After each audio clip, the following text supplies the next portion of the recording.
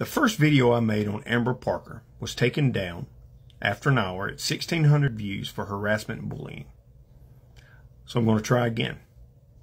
Amber Parker is 53 years old from El Paso, Texas.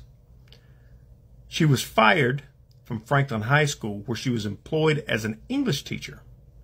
And she was fired because one of her students recorded an 18 second clip from her English class and posted it to TikTok. In that 18 second clip, Miss Parker was heard saying that we're not going to call in her class pedophiles pedophiles. We're going to call them minor attracted persons.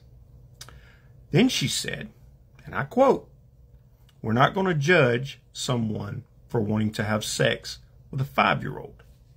So Miss Parker said what she said was taken out of context.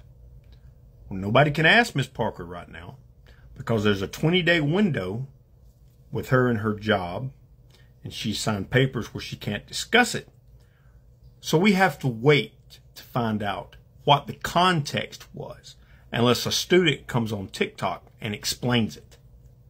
I guess what bothers me the most about this story is it seems that there is a push to normalize this behavior. Speaking for myself and nobody else, I, for one, do not think that this is a behavior that needs to be normalized. Ever. And I hope when Miss Parker is able to give her side of the story for the context of what was said in her class that day, that it comes out that she was actually trying to make a valid point and that she does not actually feel that way. But only time will tell.